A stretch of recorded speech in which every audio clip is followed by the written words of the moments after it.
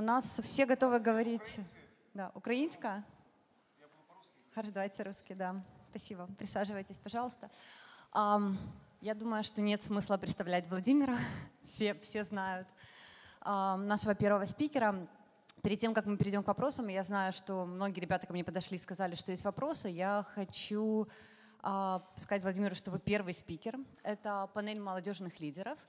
И у них впереди два невероятно интересных дня. Это лучшие из лучших, кого отобрали в Украине.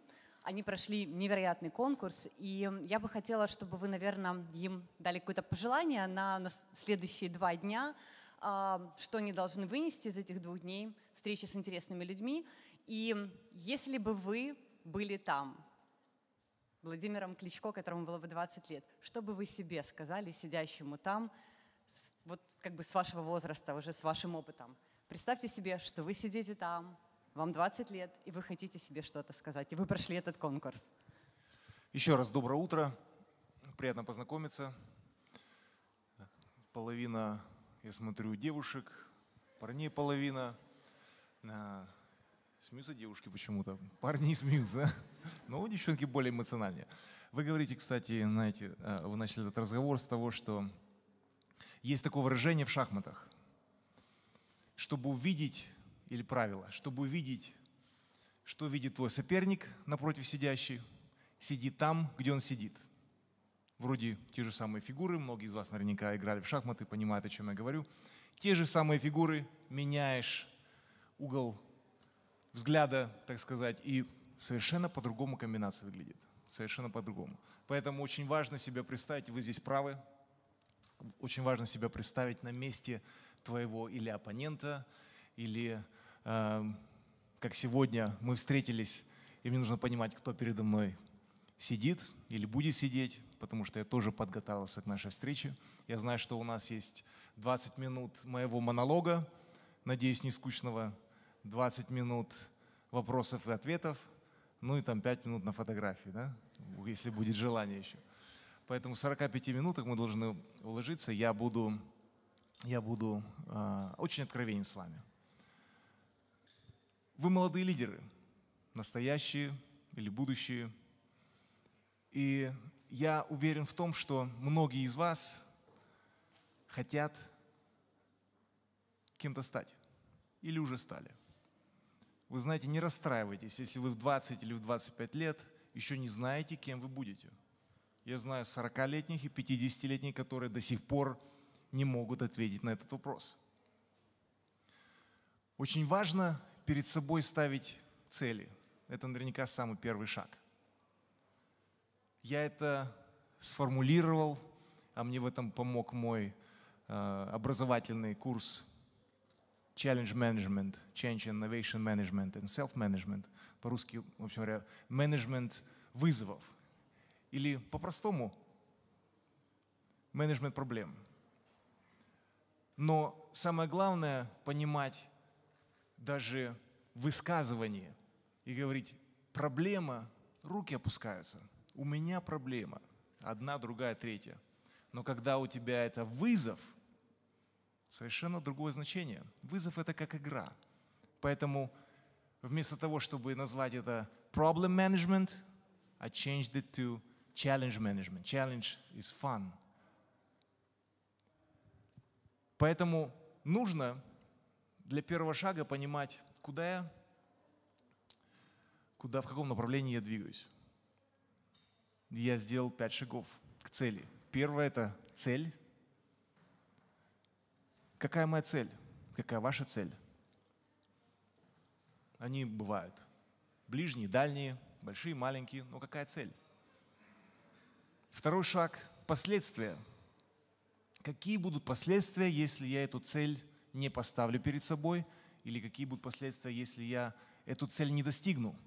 Или наоборот, какие будут последствия, если я достигну эту цель.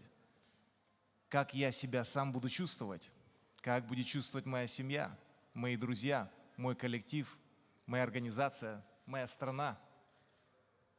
И представлять это очень важно, третий шаг перейду в картинках. Представление – Потому что все то, о чем я говорю сейчас, 90%, и я не один единственный, а в целом в жизни так и случается, 90% информации сотрется, потому что мы живем в мире полного информации. Как только вы покинете эту 45-минутную сессию и общение со мной, через полгода вы наверняка уже не будете помнить, но у вас останется картинка. В каком костюме я сидел, какого он цвета был приблизительно. Да? Что, ну, что случится сейчас? Ну, или какая будет картинка в целом в следующих 45 минутах. Поэтому очень важно воображение, третий шаг. Воображение, как я представляю сам себя, если я эту цель достиг, или какие последствия если этого не сделал. Воображение картинками. Четвертый шаг – это твои союзники. Без союзников человек не может сделать сам все, что он перед собой поставил. Конечно же, сам человек – это движущая сила, но один это не сделает. И здесь очень важно понимать, даже твои конкуренты прямые могут быть твоими союзниками – наглядный пример жизни. Я не знаю, смотрите или вы поклонники спорта или нет, бокса или нет, но, в общем говоря, у меня не так давно был поединок на стадионе Уэмбли с Энтони Джошуа, моим бывшим спарринг-партнером. Три года назад он помог мне или помогал мне подготавливать или подготовиться к поединку против Кубрата Пулева – мой будущий соперник, мой прямой конкурент помогал мне подготовиться к поединку. Называется competition. Competition означает, что даже этот союзник, который может быть твоим прямым конкурентом, поможет тебе достиг, достичь свою цель. Например, в Европе или конкретно в Германии такие автомобильные марки, как Mercedes, Audi, Volkswagen, Porsche, объединились для того, чтобы создать, прямые конкуренты объединились для того, чтобы создать электрозаправки для электромашин. Потому что все, выступ, все э, понимают конкуренцию Теслы. Но для того, чтобы все-таки эту конкуренцию убрать, они создают и работают над тем, чтобы в 2018-2019 году вышли электроавтомобили этих марок. И они объединились для того, чтобы создать заправки для электромашин. Конкуренты. Ну, вот они создадут, сделают, но потом будут конкурировать. Теслу уберут, так сказать, с рынка этим, но совместную цель достигнут. Точно так же, как и в поединке с Джошуа, он мне помог, и в конце концов я с ним встретился в ринге. Поэтому союзники очень важны для достижения цели. И такое выражение self-made man – человек, который сам себя сделал. Да нету такого. Нету self-made man. Потому что один человек не сможет достичь своей цели. Только лишь в коллективе. Кстати, каждый, кто здесь сидит из вас, никого из вас нету сильнее и умнее, чем мы все. Логично. Поэтому у, у боксера есть Сейчас увидите. Эти картинки вы не забудете. Если общество, спокойно, если общество разделено и не объединено, как вот эти пять пальцев, но когда эти пять пальцев смыкаются в кулак, это сила. В единстве сила. В единстве наших воображений, цели, союзников для достижения цели. Очень, очень важно быть едиными. Разделяй властвуй. Разделение, разделил, это старое уже выражение. Разделяй властвуй. Разделить очень легко, объединить очень тяжело. Но когда мы объединены, есть объединение к пути к цели, по пути к цели, эту цель мы достигнем. Последний пятый шаг – очень важный. Это любовь к цели. Если ты без любви относишься к цели, ты ее не достигнешь. Ты должен этим болеть. Как влюбленный человек, но он болеет просто. Днем и ночью не может перестать думать о объекте любви. Еще раз я повторю. Цель, последствия воображение картинками, союзники и любовь к цели. Тогда, я уверен, будет, будет успех. Очень важно для будущих лидеров также понимать, и наверняка вы подумаете, о чем Владимир тут говорит. Но эти три важных элемента для достижения цели очень важны. Я хотел бы, чтобы наши будущие лидеры и настоящие имели три качества. Бескомпромиссные, мультидименsionальные, многодименsionальные, эгоисты. Бескомпромиссность, эгоизм, о чем Владимир говорит, это же как бы негативно. Ну, в целом. Если разобраться, на самом деле не так уж это и негативно. Самый большой вызов, который у нас есть в жизни, с момента нашего рождения до наших последних дней, это время. Мы пытаемся время осилить и побить, образно говоря. Выиграть время. С момента рождения нам нужно или забота, детский сад, школа, образование, выбор профессии, профессия, семья, дети, внуки и так далее. Жизнь уже прошла. Мы не хотим потерять время. И за какой-то промежуток времени, который особенно сейчас в вашем возрасте важен, очень важно оставаться активными, достичь результатов или целей поставить перед собой. И ни в коем случае их не потерять из вида. Я объясню, почему эти три компонента очень важны бескомпромиссность. Каждый компромисс стоит время и многого другого. Эгоизм очень важен для человека. Спортсмен без эго не достигнет цели. Менеджер, лидер не достигнет своей цели. Потому что он будет обращать внимание на компромиссы. Компромисс забирает время и тебя отвлекает от пути к цели. Эгоизм, как и бескомпромиссность, очень важны, но только в этом случае они многофункциональны, если человек думает мультидименsionально, многодименsionально. Не только лишь черное, белое, черное, белое, серое, зеленое, красное. Есть правила, есть исключения из правил. Таков закон жизни. Или всегда мы читаем книгу, есть закон, есть правила, есть поговорка, но всегда есть звездочка внизу, которая указывает. Ну, а в этом случае есть исключение из правил. Например, вы видели это видео в самолете, когда перед взлетом объясняет стюардесса, или же на видео видно, если во время полета давление в кабине самолета начнет падать, значит, автоматически опускаются кислородные маски. И в этом видео видно, человек одевает маску на себя, сидит рядом с ребенком, а потом надевает ребенку. Ну, по логике, нужно же помочь ребенку. Нет. Ты должен помочь себе в первую очередь, потому что ты движущая, движущая сила – и если ты в комфортной ситуации, ты готов в длительную помочь ребенку и многим другим. Ребенок тебе не поможет. Поэтому если мы будем думать монодименsionально, а, в одной димензии, в одном спектре, черно-белое, то, конечно же, нужно помочь ребенку.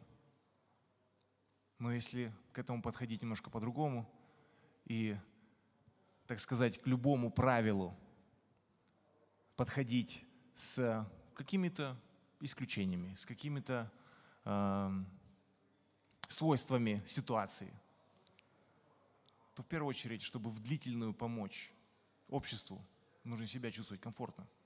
Нужно чувствовать уверенность в самом себе и силу в самом себе короткую, как, сказать, как я уже объяснил, можно оказать нужную помощь, но это будет очень кратко. Поэтому бескомпромиссность тебя ни в коем случае не отвлекет, не отвлечет от преследования своей цели достижения. Эгоизм поможет тебе достичь этой цели с любовью. И каждому из правил нужно подходить с исключением. Черное-белое, но не забывать о том, что в этой ситуации нужно немного наверняка изменить, если это нужно для достижения цели, свою собственную, так сказать, представление или политику по достижению к ней. Поэтому эти три важных компонента необходимы. Я не хотел бы забыть очень важные фразы или фраза Дарвина. Мы живем в обществе, особенно в Украине или в целом в мире, которое сегодня очень сложно. Политически, экономически, геополитически. И нужно понимать, еще раз, оно, одно с другим хорошо обыгрывается.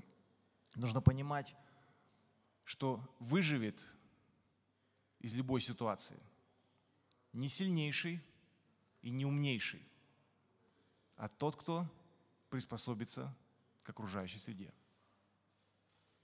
А вот теперь мы говорим о многодименsionальности. Да? Казалось бы, умный должен выжить или сильный должен тоже, как в законе джунглей. Нет, не совсем так. Эволюция природы человека показала, то, что действительно тот, кто приспосабливается к окружающей среде, выживет. Поэтому все вот эти правила, которые я только что озвучил или, э, так сказать, до вас донес, они очень важны подходить к ним более внимательнее. И я думаю, что эти пять шагов, которые я только что назвал и озвучил, они помогут вам поставить перед собой цели и помогут достичь их. Мой самый сложный выбор решение, которое было в моей профессиональной жизни, это сказать матч-реваншу против Энтони Джошуа «нет» и закончить свою 27-летнюю карьеру.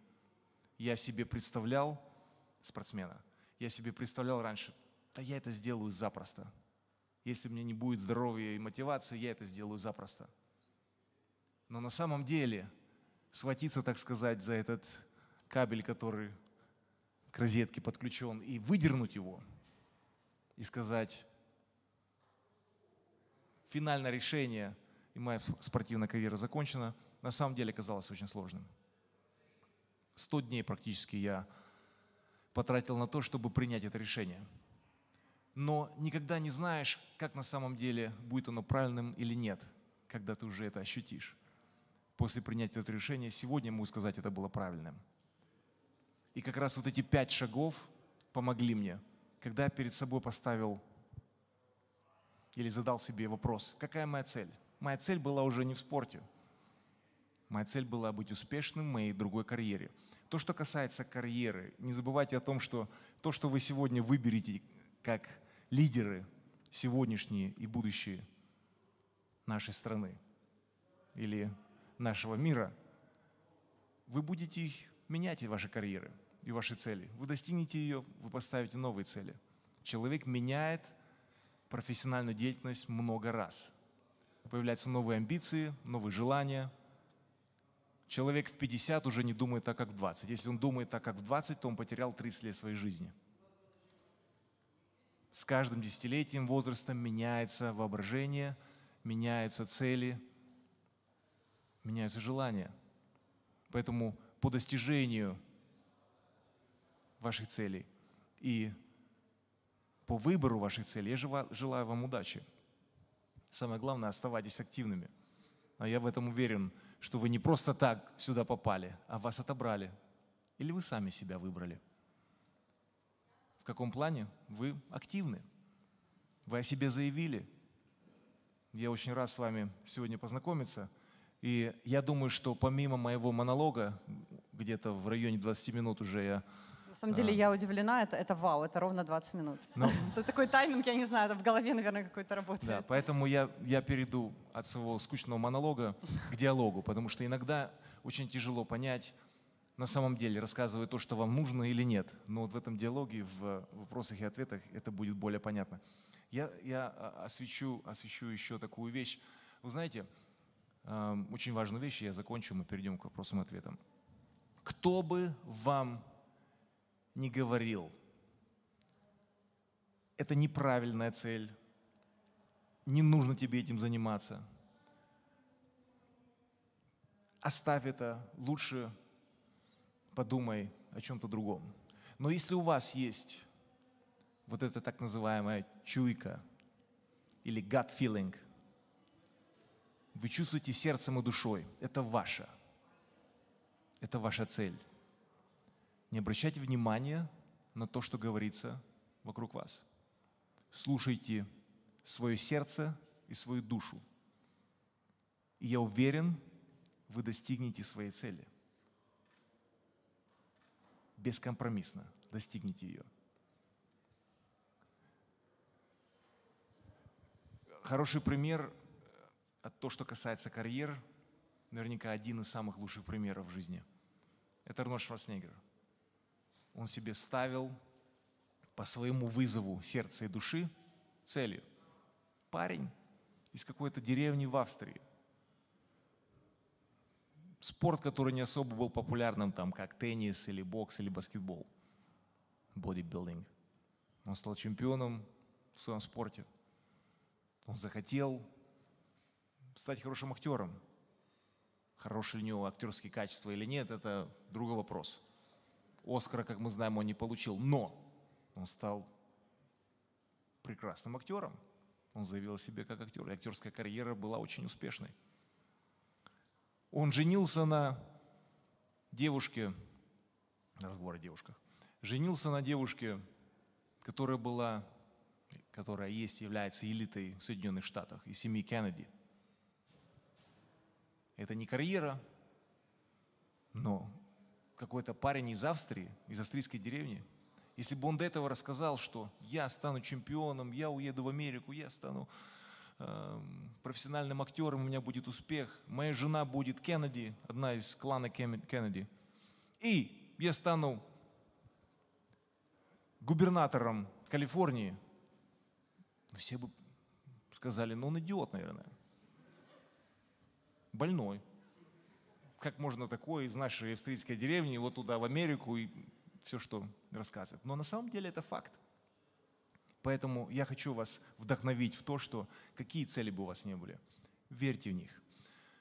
Ваш эм, по возрасту, ну приблизительно, да, коллега Марк Цукерберг – в конце концов закончил Харвард.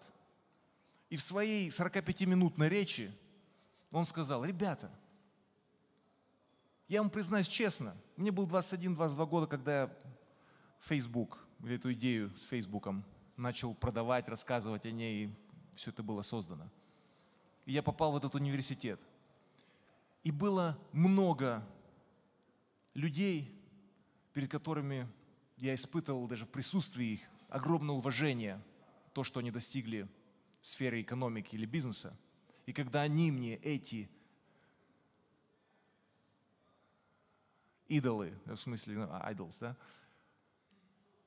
говорили мне, продавай, не делай ошибку, деньги сегодня. Хорошая идея, но нужно сделать так и так и так. Он сказал, нет. Он сказал о том, что я не знаю почему, Сегодня я не могу понять, почему я отказал тем людям, перед которыми у меня было огромное уважение. У меня не было знаний в бизнесе, но у меня была вот эта так называемая чуйка, gut feeling, сердце и душа, которые говорили ему, иди своим путем. Смотрите сегодня в 30 лет, где он находится. И он сказал, я не могу объяснить это по-другому. Я только лишь слушал свое сердце и свою душу и следовал этому пути. Вы не исключение. Никто из нас здесь не исключение из этих правил. Поэтому слушайте свое сердце, слушайте свою душу, как она, она вам подскажет и сделает правильный совет.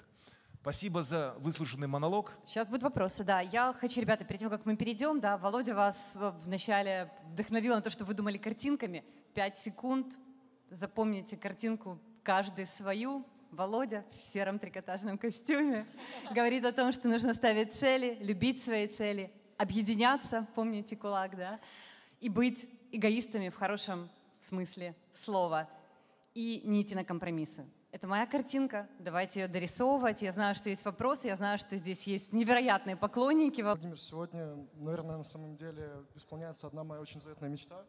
Э, я с самого детства, ну, я даже, наверное, боялся представить, что там, скажем, через 10 лет э, вы будете от меня на расстоянии полутора метра. В трикотажном костюме? В трикотажном костюме. И а, я микрофон, микрофон ближе, вот так вот. И да. я смогу задать вам вопрос.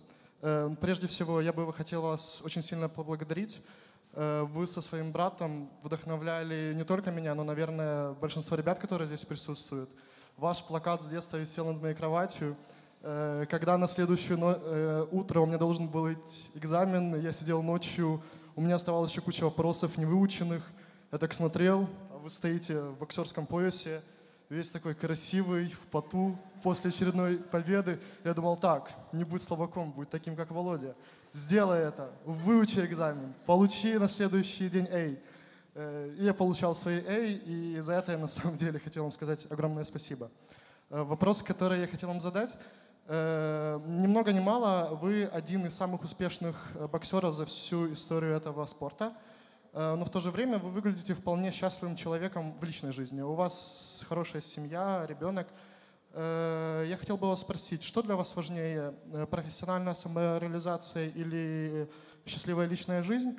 Если важно и то, и то, как успешно в жизни находить баланс между карьерой и личной жизнью?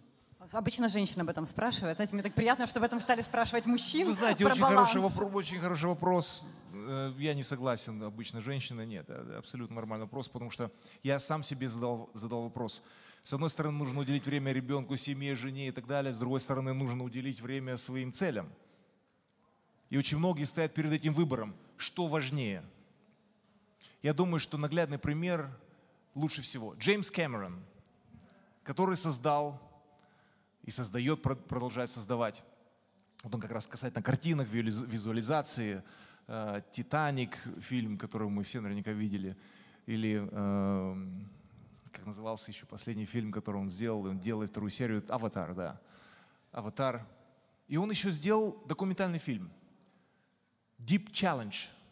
Он опустился на самую глубокую точку мира, что-то там под 9 километров глубиной в океане – и что самое интересное, он создал, сам это была его мечтой с детства, создал подводную лодку или подводную капсулу, так сказать. Это же не лодка, а капсула, которая выдержит давление на глубине 9 тысяч метров. Он хотел увидеть своими глазами, а не послать бедного студента в этой капсуле на 9 тысяч метров.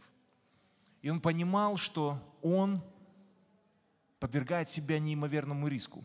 Во время того, когда он строил эту капсулу, Вокруг него дети, его дети, его жена. И он как раз говорит именно об этом. Он говорит, да, конечно, я мог послать бедного студента на эту глубину, но я хочу это сделать сам. Я понимаю риски, я могу потерять свою жизнь. А что же с моими детьми? Я хочу быть наглядным примером для подражания, для своих детей, своими действиями, своей карьерой, своими целями, которые я достигаю, и не только. Я думаю, что наверняка этот пример самый лучший ответ – нельзя уходить только лишь в одну или в другую сторону. Но я, я, я думаю, что это совокупление твоей работы поможет твоим детям быть наглядным примером. Я точно так же воспитывался, я не так часто видел своего отца. Он был военным, он уходил утром, мы еще спали, приходил вечером, мы уже спали. Ну, в общем говоря, не так много времени. Но когда он был рядом с нами – или там были выходные дни, он уделял 100% своего времени нам и воспитанию. И я это никогда не забуду. Но своими наглядными примерами и так, как это было, и он мне брал с собой на работу очень часто, я наблюдал за тем, как он функционирует, как он работает, какое отношение его коллектива к нему. И вот этот наглядный пример, как и у Джеймса Кэмерона или моего отца, мои отношения говорят наверняка многом. Спасибо за вопрос. Спасибо. Я вижу, микрофон уже куда-то путешествовал, да? Ага. И Я тоже хотела бы вас поблагодарить за то, что в 2006 году, а, посмотрев ваш бой в Нью-Йорке, я на следующий день записалась на секцию по боксу. Да. И получая каждую награду, каждый раз выигрывая бой, я каждую свою победу посвящала вам и мысленно говорила вам спасибо за то, что вы меня смотивировали заняться этим спортом. И мой вопрос будет следующий. Вы говорили о успехе, да, вы говорили, что вас эм, э, мотивирует, да, какие цели нужно перед собой ставить, как достигать, да, но были у вас тоже поражения. Э, скажите, пожалуйста, что вас мотивировало каждый раз подняться и идти дальше. Ведь даже каждый раз, даже если мы приведем пример в научной деятельности, в политике, э, экономике, в бизнесе, в любом сфере, тоже бывают неудачи, тоже бывают провалы, после которых просто хочется все бросить и просто сдаться. Что вам помогало все это время после поражения, да, после какой-то неудачи, что вам помогало встать и идти дальше? Спасибо. Спасибо. Потому что да, ставятся цели, наверняка не все достигаются, руки опускаются, когда все-таки не получается. Но самое главное – двигаться вперед. Человек, который останавливается, падает назад. И достижение цели или конечного результата на самом деле не сама цель. И на самом деле, как я уже говорил о многодимензиональности, нужно понимать, что я не достиг цели, но я достиг чего-то другого. Опять же, примеры из жизни. Коламбус поехал в Индию. Его цель была Индия. Он потерял курс, его корабль. И в итоге, слава богу, у нас есть Северная Америка, которую он открыл. Его цель прямая была не достигнута, но побочный эффект этого был позитивным. То есть своей цели он не достиг, но мы понимаем, какой позитив из этого вышел. Наглядный пример – Ученые создавали искусственное стекло. Свою цель они не достигли, а побочный эффект – постит да, или суперглил, суперклей – хороший побочный эффект. Они же об этом даже не представляли, что из этого может получиться. Но они двигались вперед, они ставили перед собой цели, они их не достигли, но что-то, какой-то позитив из этого был. Медицина, мы знаем, медицина очень такой Эм, важный элемент в обществе. И медики работали над тем, как сделать сердце, сердечно-сосудистую систему сильной. И как можно какие-то из заболеваний э, преодолевать. Побочный эффект Виагра, все знают. Ну, свою цель они не достигли, но побочный эффект, пожалуйста. И можно продолжать очень много до моего личного примера. Я свой последний поединок в своей спортивной карьере проиграл. Но я еще никогда так много не выигрывал проигравшим. Парадокс. У меня уже было много успеха в спорте, но я ни в коем случае не хотел бы изменить результат, конечный результат поединка. И, например, если бы я Энтони Джошуа нокаутировал во втором раунде. Скучно. Я об этом сегодня бы не говорил. А теперь я получаюсь такой, как вы. Есть цели, есть путь к цели, бывают неудачи, но самое главное, я для себя открыл то, что самое главное, достижение цели – это не сама цель, а процесс – Потому что даже если ты ее не достигаешь, ты открываешь для себя что-то новое, как пример я уже до этого при, э, вам привел. Спасибо. Так что самое главное, двигаться вперед, все остальное, так сказать, ушки на макушке, нос по ветру. И поверьте мне, вы увидите очень много дверей откроются, которые вы даже не знали существования. Спасибо вам за ваше выступление. Вы говорили про объединение. И мне кажется, ни в одной стране мира нет полностью объединенного общества. Всех что-то разделяет. У нас страна максимально, сейчас, мне кажется, э, переживает тяжелые времена, и общество у нас разделено, начиная от вопросов языка, заканчивая медицинской реформой. И как вы думаете, какие практические шаги, с вашей точки зрения, могут максимально объединить наше общество? Что именно конкретно может? Спасибо. Эту фразу вы уже слышали наверняка очень, очень много, и она философская, и на самом деле э, она ассоциируется только лишь с одним человеком, Джей Ф. Кеннеди. А, до него это было уже сказано в индийской философии. Не спрашивай, что может для тебя сделать общество или страна, спроси, что ты можешь сделать для общества или страны. Если каждый из нас будет это задавать сам себе, поверьте мне, мы будем жить очень хорошо, даже прекрасно. Но, к сожалению, в элите политической, как и в любой стране другой, но, к сожалению, то, что касается коррупции нашей страны, ассоциации с этим, очень часто говорят о том, что Украина до сих пор пока коррупцию не поборола. Коррупция – это как рак, который нужно просто-напросто удалить из тела. Иначе все будет очень кратковременно. Поэтому, как и жизнь, да? Поэтому очень важно не забывать о том, что я могу сделать для общества очень много и задавать себе этот вопрос. Если каждый себе будет задавать вопрос, то я просто в этом уверен, каждый из политиков, но не только лишь, но каждый человек, который просто-напросто живет там на улице Саксаганского и видит мусор каждый день, когда он выходит из дома.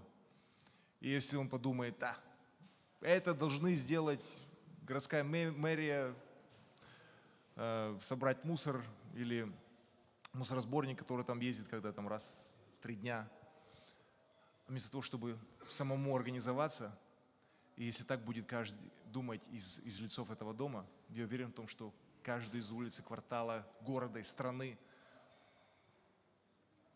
получится ну, только, только лишь, только, так, так, так сказать, рай, рай на земле. Поэтому я в этом уверен. Самое главное задавать себе этот вопрос. Что я могу сделать для страны, и не наоборот. Ребята, у нас время для одного вопроса, если вы хотите фотографию. Если вы отказываетесь от фотографии... Мы сходим обязательно налево один раз. Спасибо. А, Володя попросил сходить налево, поэтому у нас два вопроса, один справа, один слева. Отлично. Спасибо вам большое. Владимир, незыблемой является истина, что бой – это ваша жизнь. Но и ваша жизнь – это также бой. Потому что вы в свои юные молодые года являетесь легендарным спортсменом. Вы нокаутировали многие жизненные обстоятельства, и вы сейчас признаны примером года в Германии. И у меня вопрос.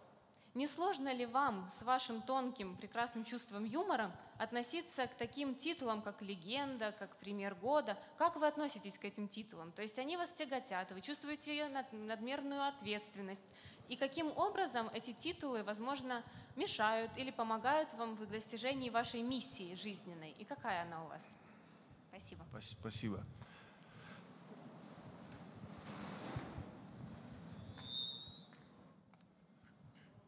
откровенно говоря, титулы, звания, когда ты находишься внутри своей деятельности, для меня лично это не важно.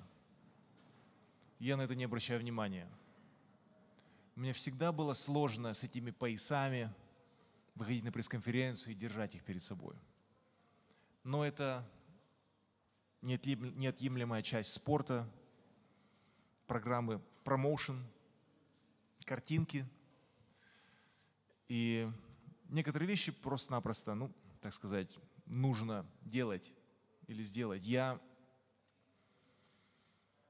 благодарен, конечно, за там, титулы или награды, которые были.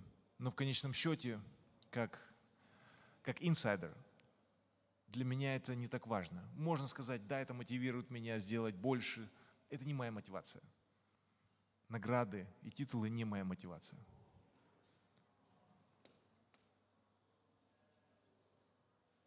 Я хотел бы, чтобы лучше всего эм, все, что человек достигает, и человек сам, должна быть самооценка, но я бы хотел, чтобы, может быть, даже вы не обращали на это внимание, потому что вас, ваш фокус, вас, ваша концентрация будет совершенно на другом. Не на медалях, не на признании. Это то, что касается ожидания. Когда, ты, когда человек живет в обществе ожидания – оно очень высоко. И когда эти ожидания, к сожалению, 99% они не оправдывают себя, а всегда планочка немножко ниже, идет разочарование. Поэтому я, я желаю также и вам, чтобы вы наверняка не так много ожидали от результатов достижения своих целей. Да, это будет признано, это будет увидено, это будет для вас наверняка какая-то мотивация, но я думаю, что у меня есть фокус на моих целях. Даже сейчас, после спортивной карьеры, он у меня остается. Я хочу двигаться вперед. У меня нет времени обращать внимание на награды. Спасибо. И мне нужно их принять как знак уважения. Я скажу честно, от некоторых я просто-напросто... Ну, отказываться это, это, это плохой тон. Но я хотел бы, чтобы, чтобы так сказать, визуально. Вот, наградили, да, мне не нужно для этого выходить там на красную дорожку или там на сцену и сказать «да, спасибо». Но в этом случае я понимаю, что для меня это возможность, так как сегодня поделиться с вами, для меня это возможность не только лишь сказать благодарственную речь за, за э, там award, который я получил, а возможность поставить или сделать акцент на какой-либо проблеме в обществе. Потому что я часть общества я спрашиваю сам себя, что я могу сделать для этого общества, а не наоборот, как я уже об этом говорил. Поэтому, э, да, с одной стороны, это мотивация, с другой стороны, это э, для меня лично, скажем так, не решающее или не так важно. У нас Спасибо. три минуты на короткий вопрос и, к сожалению, на короткий ответ. Три. Владимир, еще раз о единстве. Это то, что на самом деле важно сейчас для нашей страны, и мы с вами в этом согласны. В то же время вы советуете нам быть эгоистичными и бескомпромиссными, чтобы достичь своих целей. Скажите, как объединить эгоистичных и бескомпромиссных людей? За три минуты. Я, я по-моему, эм, если обратить внимание на, на то, что я сказал, например, в конкуренции, то ли это в спорте, как с примером с Энтони Джошем, моим спарринг партнером бывшим, потом сегодняшним чемпионом мира, или же Э, постройкой электрозаправок, э, конкурентов прямых. Они все эгоистичны, тем более зная о том, что бизнес, э, вообще эмоций нет, а только лишь числа и цифры решают, заниматься этим или нет. Но тем не менее, вот это вот объединение, почему эти компании объединились, которые я тоже назвал, не буду повторяться – чтобы скучным не было. Вот это объединение для достижения важной цели и сосуществования, competition. Ведь если будут эти заправки, электрозаправки, это совершенно другая индустрия, совершенно другой стиль, стиль ведения бизнеса, который будет существовать. Не существовать, а сосуществовать. То ли это на примере компании, спорте и в нашей стране – очень важно объединение, очень важно в нашем украинском обществе. Есть политические взгляды разные. Мы все устали от политики. Мы никому не верим. Но вот именно здесь политика и разделяет нас. У нас должны быть общие цели. И я уверен в том, что ради мира, ради объединения, ради прекрасного не существования, а развития общества и страны. Это очень важно, забыть о амбициях политических или геополитических. И здесь мы должны объединиться. Европейский Союз, Союз, объединился для того, чтобы быть сильными. Да, у некоторых, как Брексит, другие желания, ну, демократия – Каждый выслушивает или принимает решение а, так, как, так, как большинство общества это хочет. Но я уверен, это, конечно, очень, очень сложно, чтобы все остались довольны. Очень сложно. Но большинство, я уверен, большинство должно влиять на меньшинство. именно своим, своими амбициями, своими мыслями и объединение друг друга. Как я уже сказал, если мы все разбежимся, моя гата с краю, наша украинская пословица, ничего не знаю, мы так далеко в развитии не уйдем нашим.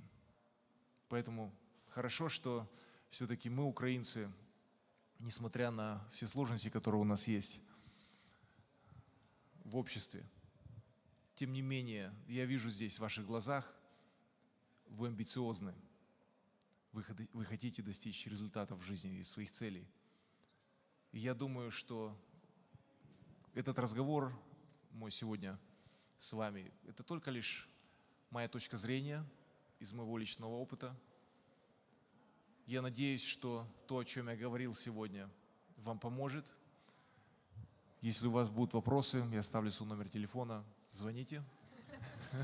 А... Я уверен, я уверен в том, что люди, люди как минимум встречаются два раза в жизни, как минимум. И я уверен в том, что с кем-то из вас я встречусь снова. И наша сегодняшняя встреча это только лишь первая. Может быть, кого-то я уже видел сегодня. Но некоторых присутствующих я тут даже знаю много лет. Да? Например, как директор фонда Кличко, Алина, Алина Носенко, которая очень э, в, сам себя режиссер снимает, да, и выставляет потом в режиме онлайн кличко.ком. У нас а, точно сейчас будет возможность еще раз встретиться на фотографии, потому что организаторы машут да, руками, что я уже время. чувствую, я уже чувствую, да, что время нас, как я уже сказал, самый большой вызов это время. Да? У нас его не так много, поэтому я желаю вам достичь всего, что вы перед собой поставили. И не расстраивайтесь чтобы у вас руки не опускались, не расстраивайтесь, если вы этих целей не достигнете. А наоборот, как я уже сказал, нос по ветру, ушки на макушке, вы увидите то, о чем вы даже не подозревали о существовании. Я желаю вам удачи. Спасибо. Спасибо огромное. А теперь очень оперативно тот, кто